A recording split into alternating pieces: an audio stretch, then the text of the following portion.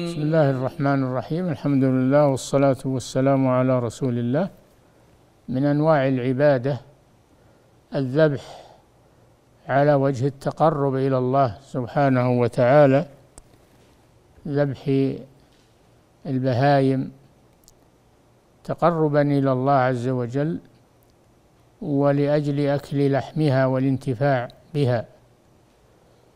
ولا تذبح وتهدر كالتي تذبح للأصنام أو للقبور والأضرحة وتهدر وإنما تذبح على اسم الله وتذبح على سنة رسول الله صلى الله عليه وسلم.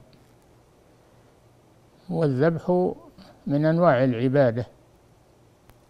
قال الله جل وعلا فصل لربك وانحر. وقرن النحر مع الصلاة.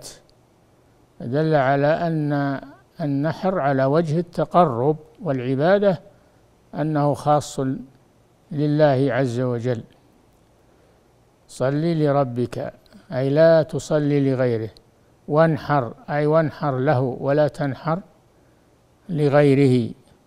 من القبور والأضرحة والأنصاب والأزلام كل هذا من أمور الجاهلية التي جاء الإسلام بمحوها والنهي عنها قل إن صلاتي ونسكي والنسك هو الذبيحة قرنه مع الصلاة كما أنه لا يصلى إلا لله فلا يذبح إلا لله سبحانه وتعالى.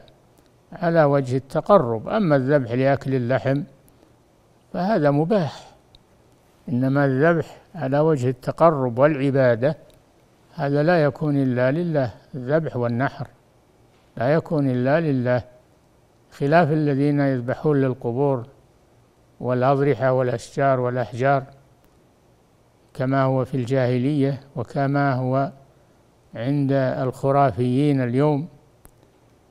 الذين يسيرون على على درب الجاهلية الأولى فهذه هذه رواسب من الجاهلية يجب أن تجتنب وأن يحذر منها وأن تخلص العبادات لله ومنها الذبح والنحر على وجه التقرب إلى الله سبحانه وتعالى.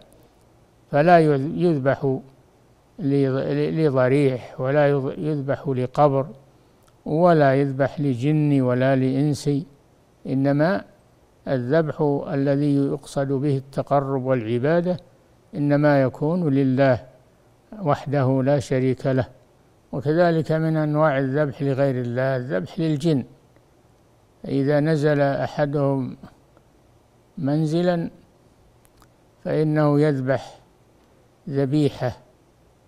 ويأخذ من دمها ويضعه على المدخل أو على جنبات الحيطان ليطرد الجن بزعمه وهذا من الشرك بالله عز وجل. أما أن الإنسان إذا نزل منزلا جديدا يذبح ذبيحة أو يصنع وليمة من باب الشكر لله ودعوة إخوانه على الأكل فلا بأس بذلك.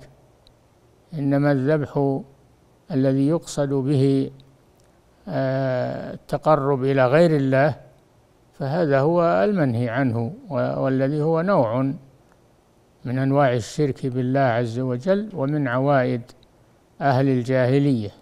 والحمد لله رب العالمين وصلى الله وسلم على نبينا محمد وعلى آله وأصحابه أجمعين.